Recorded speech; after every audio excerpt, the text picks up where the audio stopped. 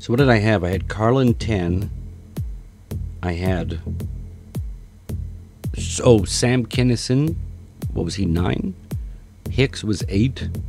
Oh, fucking Dave Attell. Uh, okay, Dave Attell is on this list for. I'm gonna say Attell is mistakenly overrated as a stand-up comedian because he is perhaps properly highly rated as a comedian's comedian. Uh, so we have Attell does have, without question, a lifelong career of being a comedian's comedian. He's probably a comedy club owner's comedian. Uh, he also does have a long history of act after act. He does the work. It's work ethic. He has a good work ethic. He's been around a long time. But what happened was Dave Attell kept getting mentioned by other comedians as the best. Who's the best right now? Oh, fucking Dave Attell is the best. This is a comedian is telling you what to through a comedian's eyes who is always having his bits, always having his acts, always doing the writing.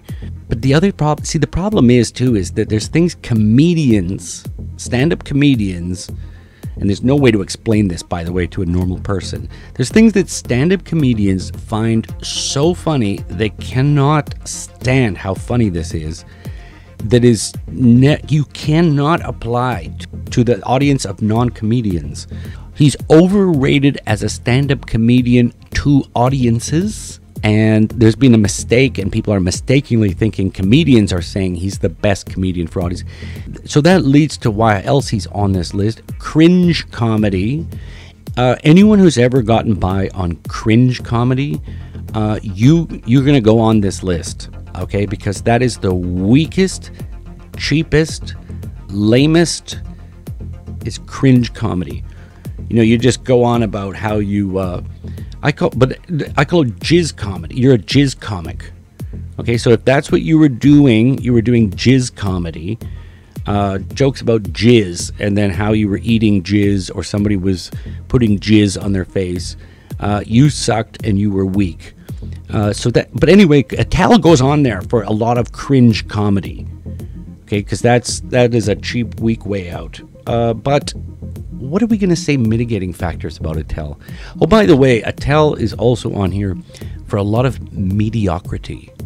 A lot of his stuff is mediocre. Okay, I, I challenge you to go through the hours and hours of it, and you're going to find a lot of mediocrity. Okay, but that's fine. You're he's a joke teller.